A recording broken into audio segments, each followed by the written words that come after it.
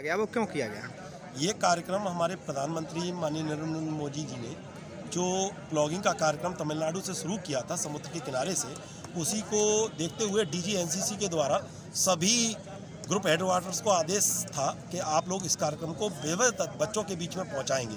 तो हमारे जो कर्नल साहब हैं, एस एस गुसाई जी, उनके निर्देशन में ये कार्यक्रम एक दिसंबर को सभी कॉलेजों में शुरू किया गया और ये तेरह दिन तक चला। आज हम इसका समापन कर रहे हैं। इसके अंतर्गत बच्चों को हमने बताया कि प्लॉगिंग का उद्देश्य क्या है। प्लॉगिंग का उद्देश्य जो हमारी पॉलीथीन इधर उधर मिट्टी में दब जाती है, हम उसे निकाल के और एक जगह डंप करेंगे और डंप कर, इसलिए करेंगे क्योंकि वो गलती नहीं है, सड़ती नहीं है, क्योंकि उससे नुकसान होता है बाद में जाके और इस, इसे अगर हम एक जगह डंप कर देंगे तो ये एक ही जगह नुकसान पहुंचाएगी और उस जगह पे स्थिर हो जाएगी।